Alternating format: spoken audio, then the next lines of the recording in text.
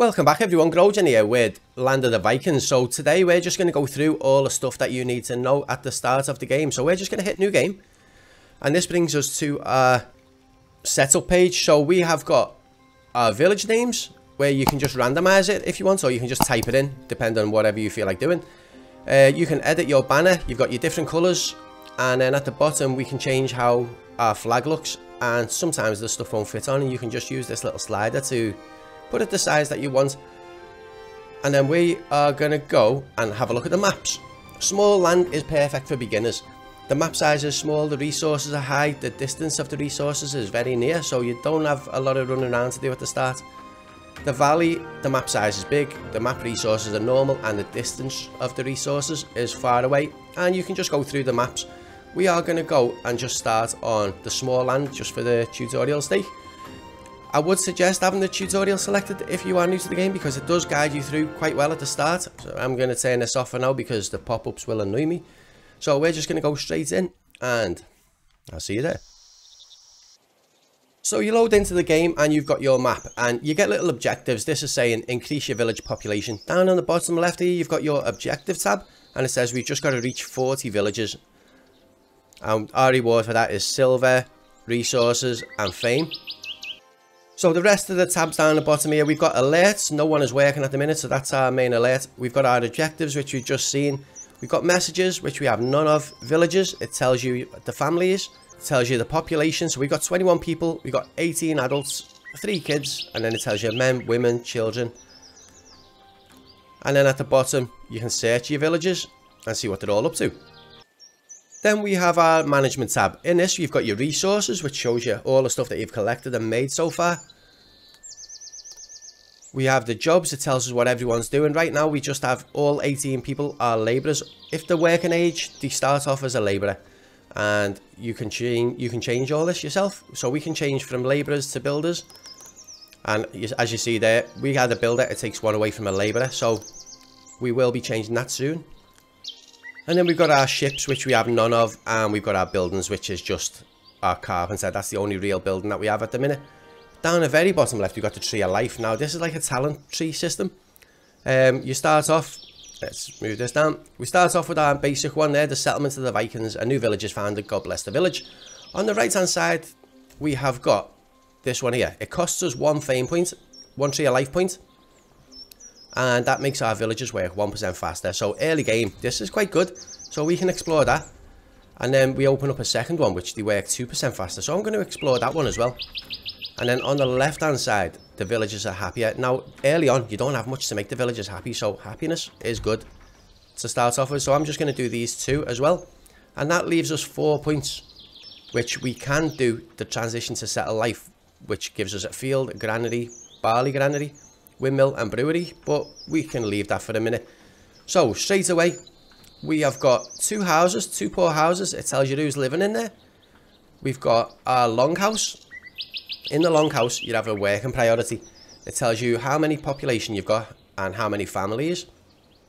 You have a priority for cutting trees and stone mining. Right now we need both, so I'm just going to leave them both on two. But if you find yourself running low on stone, you can raise your stone up, you can lower your trees down, and vice versa. So right now we're just going to leave them on medium. Over this side we've got another poor house, and then this is our carpenter. Now no one is working at the carpenter's house, so it tells us there the advantageous talents is power. So if we click on this, we can filter that by power. Now, Fridgear has got 2.2 power, but he's 46 meters away, so he's quite far away if we want him to work there. We can go down to 2 and have Sigbjorn, and he's only 23 meters away, so that'll up produ productivity a little bit. But we can have two people anyway, so I'm going to pick the top two for this one. And then this place starts off as closed. So if you click on there, it opens up and now that will start producing timber. But for that, we need to get some wood. So if we click our little select tree, select trees to cut icon, we just click, mouse click over this and drag and we can cut down all the trees that are close to our village. If you notice where the trees are, if you do not build on them, they will grow back and that really does speed things up early on. Eventually, you probably will have most of this houses and you'll be cutting the trees down miles away. So again, let's do the same with the stones. We can dig the stones. There's a few close by, so we will just take these for now. And not have people walking too far. Now, the first thing I like to do is get some roads down because the road speeds up the speed people walk. So I'm going to start off maybe around there. And just come around the front of the houses. And the other buildings. So this will do for now, and then I'm just going to do one going from his front door to the road. Now, you will notice that the houses cost, uh, the roads cost silver to build. And we do start off with quite a bit. We've got 180 left, so that's quite good. So the first buildings I like to do is food. I like to get me people fed and not go hungry. So I'm looking at the the gathering. I'm looking at the gathering hut. So this is the building where edible fruits and small amounts of medicinal plants from the forest are collected. So if we click on this, it gives us a little productivity. So we want somewhere that's got 100%. So all down here is quite low. If we go over to the right hand side there, we got it 100%. So I'm going to just stick that just below these trees there. If we hold down a Z key, we can rotate the building. So we're just going to stick that right about there. And then I'm going to extend that road just so it comes to the front of the building. Now, if you look at this, there's nobody working. We've got no builders. So if I change this up to, say, 4 and click on workers, we can add people to do work. So we've got four people who are going to now start building this house. I'm just going to press play to get things moving so people do actually start cutting some trees down. And they will go off, they'll start chopping trees down, they'll start breaking the rocks up, and then they'll start delivering them over to here. So next on the list, I'm going to go and do the hunting hut. And again, this has a productivity tab. All the way up the top there is 100%, down here is quite low.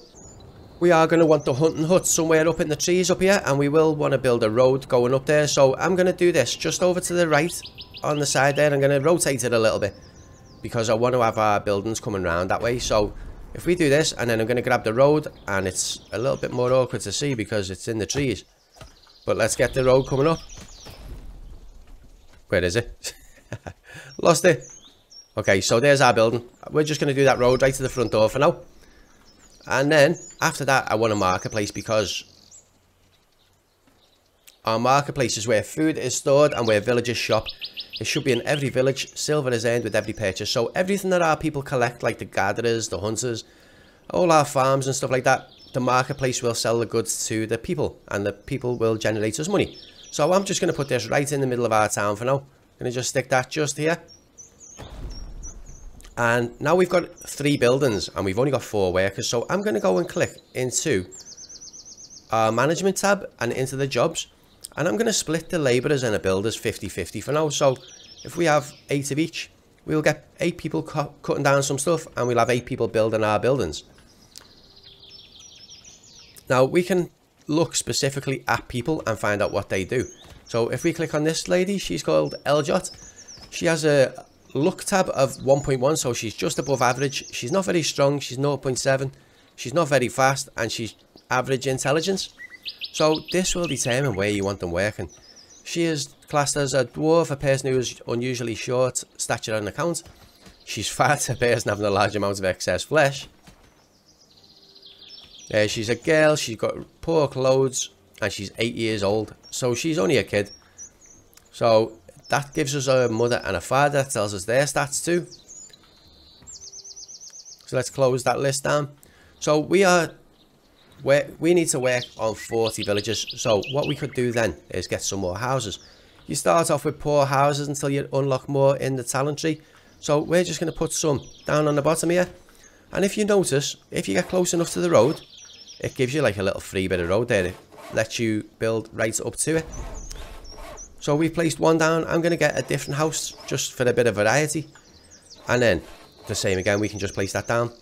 And if you hold shift, it gives you like a copy so you can place another one down. But I'm just going to leave them two for now and then we're going to build a little bit more of a road and I'm going to come down this way down here just so we can build the houses coming around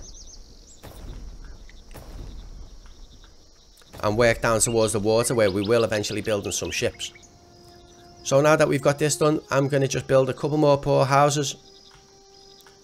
And again I'm just going to change one for variety Get another one of these small ones.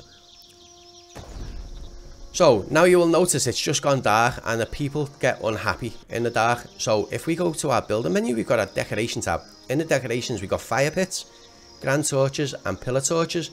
These illuminate the night time. So I'm just going to put a few fire pits down and we'll put one there, one there, one in the middle of them houses.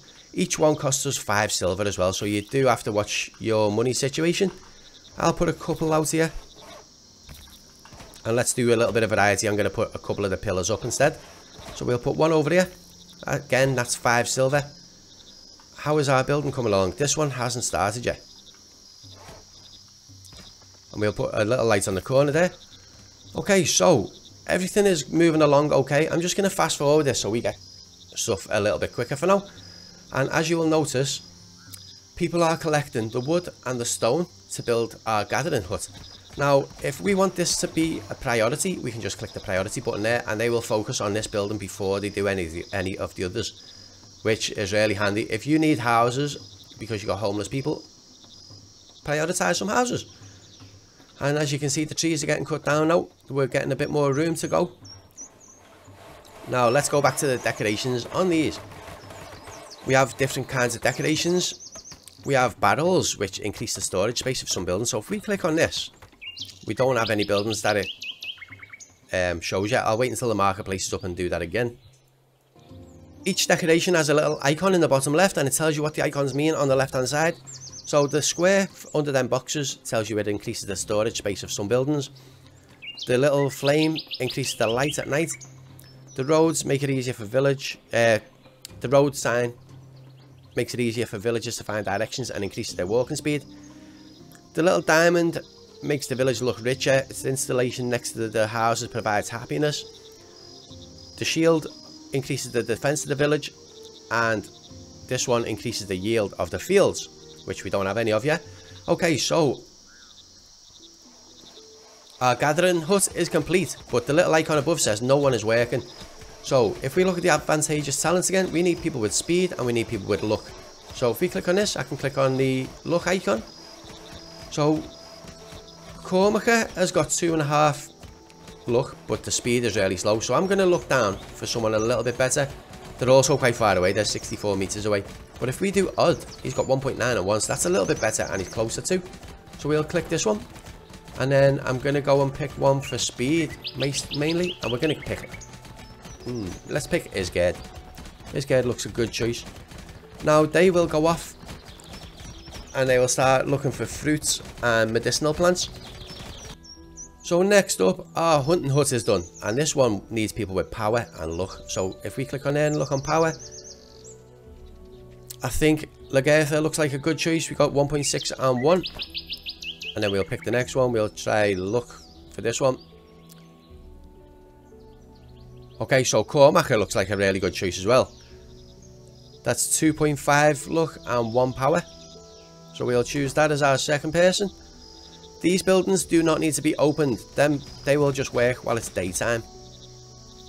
Everyone tends to sleep overnight. So if we go back down into our decorations, we could choose the shield. And we could add this down somewhere just as a little decoration and it will improve the defense of our town. You can rotate them to see which way you want them to face, so we're just going to stick one there. We can also do stuff like a target board, which will add defense which looks pretty much like the shield to me, but, you know, it works. Right, there's scarecrows which you can add on your fields. Uh, there's little trophies what you can have standing up, weapon racks, broken carts. Now, if we click on to, say, cart A, you will notice that our huts have got a little circle on them. If we stick these by our huts, it increases the storage space, so we can hold more stuff in them buildings now. Okay, so now some of your buildings are starting to come together, and if we go and have a look at our carpenter's building, you'll notice that he's, he's chopping wood up into planks. Now, our limit is set to 60, so once he gets up to 60 planks, he will stop until more come. Okay, so now our marketplace is done, and we want people with speed for our marketplace. I guess the quicker you can sell your stuff, the better.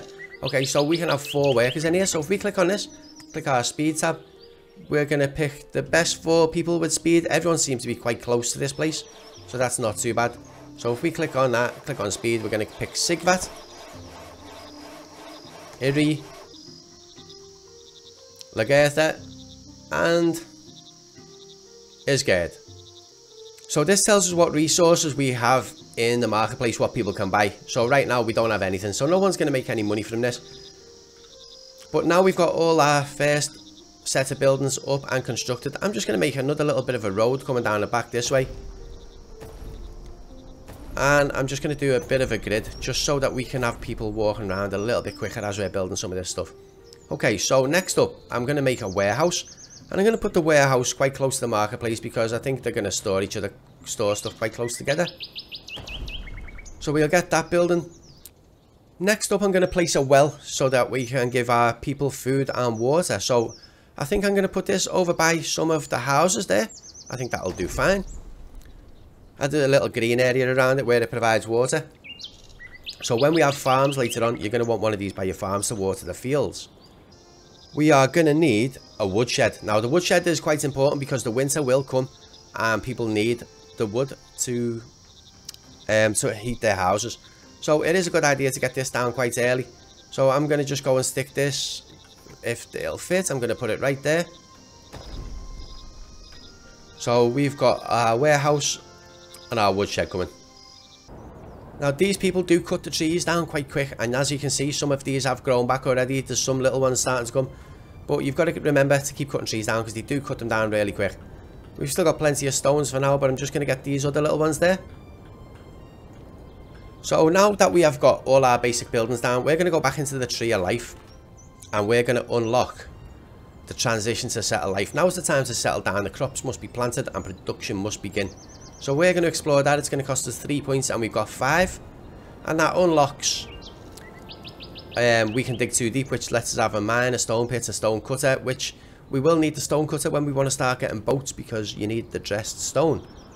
So that is something to think of. That costs three to explore, we got two. So it depends whether you want to use your points on the crop's durability and the field growth speed. We can now do fields. And with the fields, you choose how big you want it. So let's see, where do we want this? I'm going to put this down here. And we're going to just drag the fence along. Pull it out. Back down by the road. To there. And then we close it off. And then when we've got the field, we just select it. And then we have to choose what we want on there. So we're going to pick wheat for now. I'm going to do two fields. I'm going to do one wheat and one barley. So we'll click on that and then we have to plant it. Now we have no one working on the farm either, so we can add a farmer.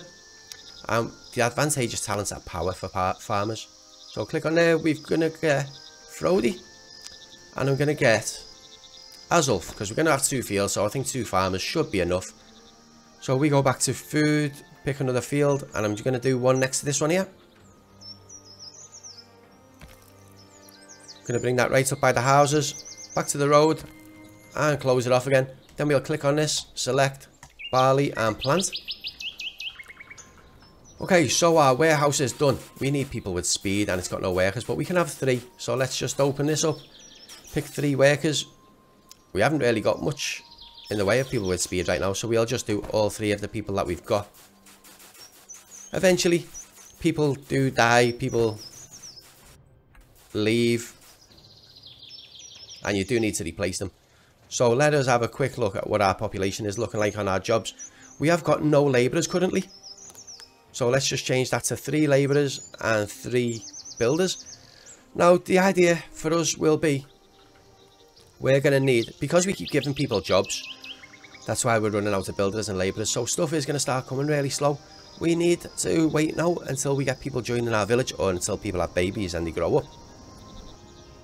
So if we look at the top of our screen there, we've got our wood, we've got 6 wood, we've got 60 timber, which was the limit that we set. We've got 100 stone, we've got no dressed stone, we've got 25 silver, and we've got 62 meals. So we're doing really well for food. And this is what we've been waiting for. Newcomers will arrive to your village. Newcomers were seen coming towards the village where they came from. They were attacked by looters. Several families, including children, were able to escape. Since they couldn't bring any of their belongings with them, They've had to leave everything behind and at the end of the day-long journey, they reach your village and need a place to stay and food. They want to join your village. So we can let them join, fame is earned, and it could lead to new events. Or we can tell them no and we lose some fame. So we're going to let them join anyway because we do need people. So now we've just gone up to six labourers. So I'm just going to add one more builder and keep five labourers. And we're going to just keep going. We've still only got two fame points. You build up fame by having more people. So now that these new people have joined, what you can see is we have homeless people. So we are going to need some more houses. So let's build a few more poor houses and we'll do them down this side over here. So we're going to just stick one there. I don't think there is any um, any difference between these buildings apart from the visual look of it. I like to have them a little bit like not straight just because it looks nicer. But yeah, them three houses, I think that should do. So let's see what our objectives are at the minute. We still need to reach 40 villages. How many do we have?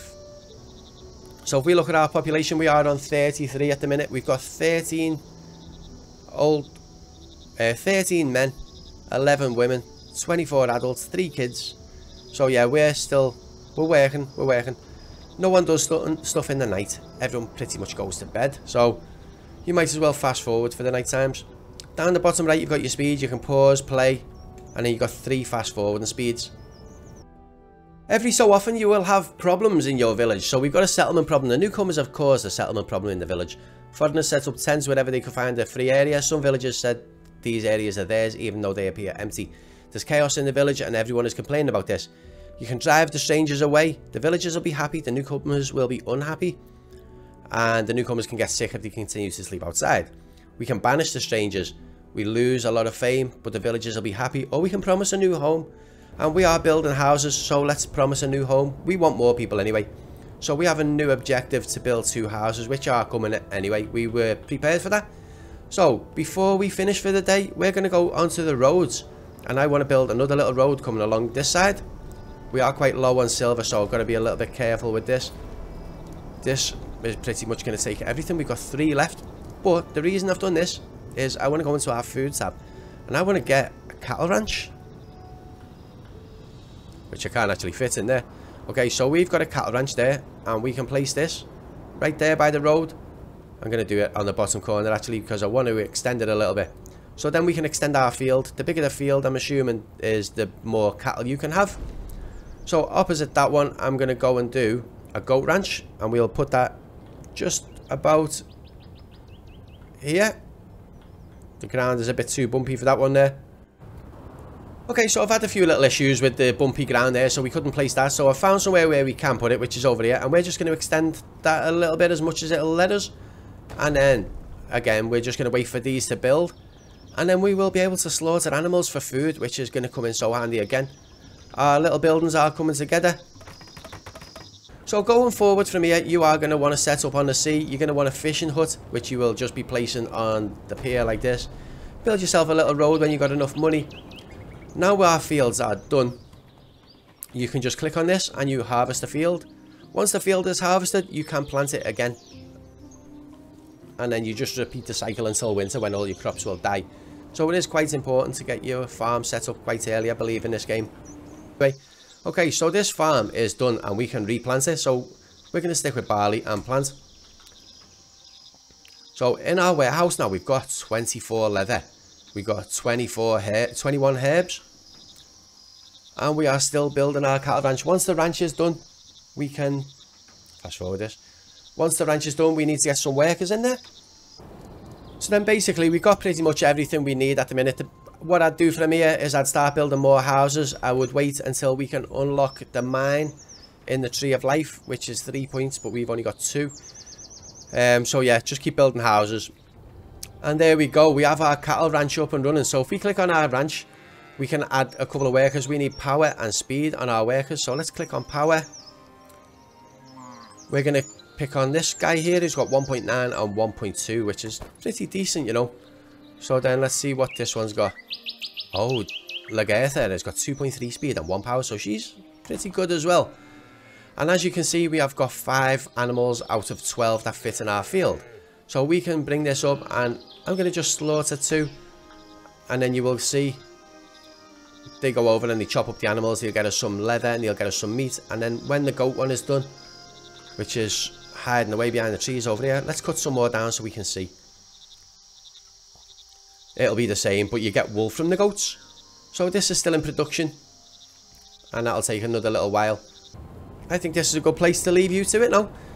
We are getting there. We're getting there. We just need to add more houses, build more villages up, and keep progressing.